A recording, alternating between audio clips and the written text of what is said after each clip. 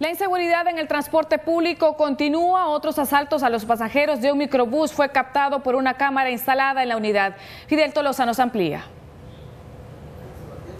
Todo transcurría con normalidad dentro del microbús que iba repleto. Incluso dos pasajeras acomodaban a un niño de brazos.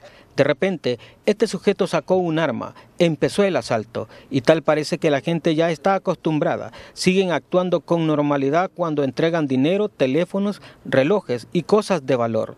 Atrás otro sujeto armado también viene asaltando.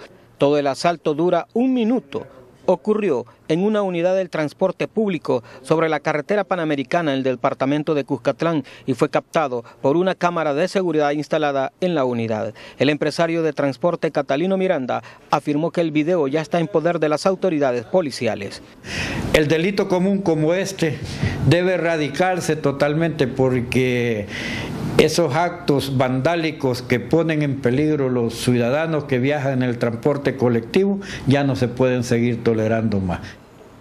El director de la Policía Nacional Civil señaló que el video está siendo analizado y agradeció el apoyo de los transportistas. No hay detención aún. Tenemos que muchas veces el video tiene eh, una calidad eh, que varía y hay que hacer determinadas experticias técnicas para poder aclarar y que se pueda evidenciar claramente quién es la persona.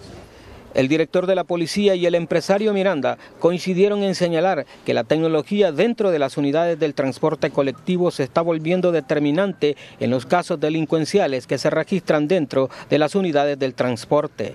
A través de ese recurso hemos logrado resolver muchos casos de todo tipo homicidios, robos, en diferentes tipos de delitos. Eh, esperamos que ya cuando el gobierno del presidente Sánchez Serén, después de sus 100 días y haya hecho un análisis profundo de la situación territorial, de lo que padece el, el sistema de transporte, todos sus problemas, como decir extorsiones, persecuciones. Los transportistas también mencionaron que es necesario que existan claros planes de seguridad dentro de las unidades del transporte, pues las extorsiones, chantajes, robos y ataques no se detienen. Fidel Tolosa para Tele 2.